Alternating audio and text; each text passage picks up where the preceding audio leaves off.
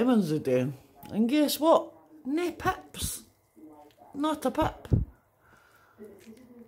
This is the second one of them that I've had. Not one pip. I've not got a lemon thing for to just hang with that and there's no pips. And I thought I would do it in the plate so it doesn't end up on the cup and that. That's mental, eh?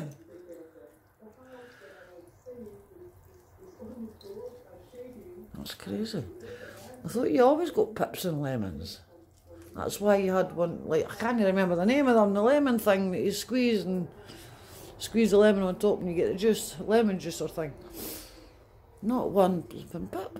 That's crazy. Hmm. Edinburgh, Scotland. I can hardly talk for coughing. Just thought I would share.